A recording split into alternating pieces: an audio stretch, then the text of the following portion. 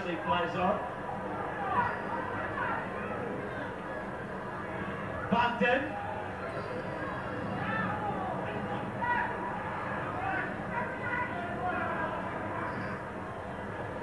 Win.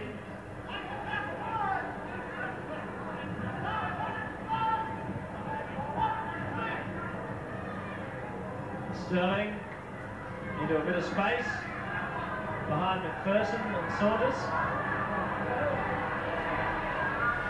Team by the coattail. McPherson.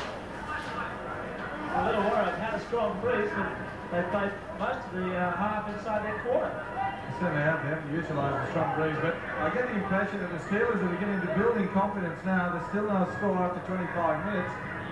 And the few gaps have been opened up in the Eels defence, especially close into the play the ball area. Yes, Mackey clearing. He's got some room here and support. Mackey kicks ahead again. A little bump there for Taylor.